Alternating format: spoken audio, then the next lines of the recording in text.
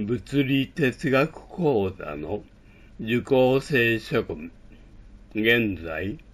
物理哲学講座にアップしているフィリピン残留日系人の老人たちについての一連の動画は、物理哲学講座からキリスト教哲学講座に移行します。このフィリピン残留日系人の問題は、我々日本人が何らかな行動をすることが必要なのです。この老人たちは2023年現在すでに80から90歳に達しており、あと数年以内に死に絶えてしまうの。私はこれらの老人たちに YouTube で日本から動画を届けることにしたのです。もちろん老人たちの家には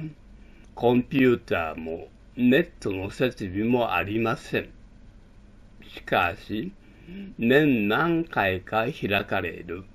日系人会の集会には大型モニター、コンピューター、ネットの用意があるでしょう。この運動は、キリスト教、イエズス会の日本管区とフィリピン管区との連携による私牧活動、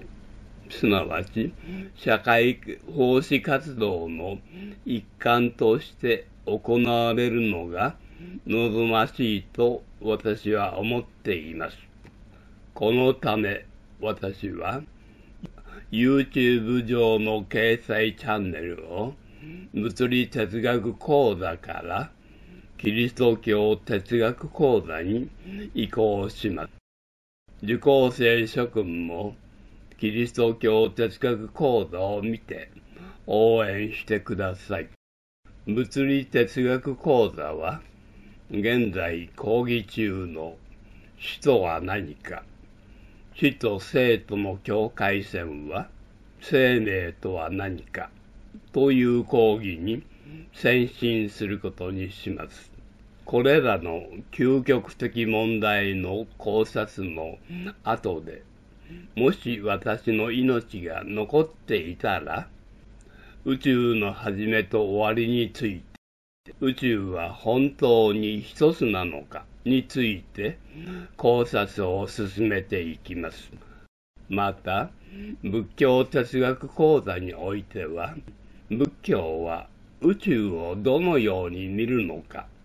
仏教の目指す究極の真理とは、3、科学者の視点から見た仏教の存在理由は、最後に、宗教とは何ぞやという問題を考えていきます。これらの問題の講義を済ましてから私は死にます。